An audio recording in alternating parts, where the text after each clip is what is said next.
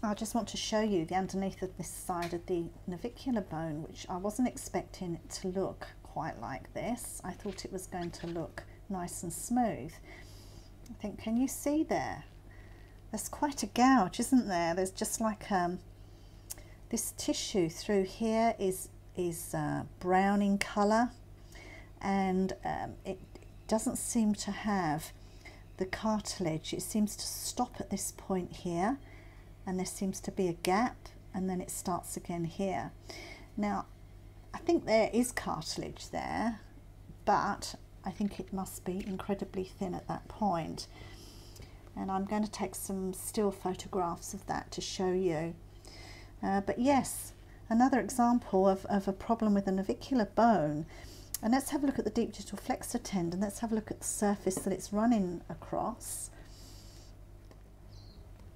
I think you can just about see a degree of discoloration in that same place. It's, it's quite hard because I've got to almost turn it inside out.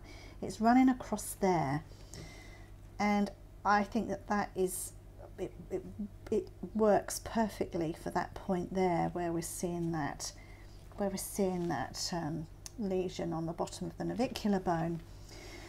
Now whether or not this would have caused the horse pain or discomfort I, don't know and this might be something that, that wouldn't cause any problem at all and uh, I think there are different degrees of erosion of the bone and different degrees of damage of the tendon. So maybe this is early, early navicular disease or navicular syndrome, but we can definitely see some changes going on in that navicular bone and the deep digital flexor tendon. Thank you for watching.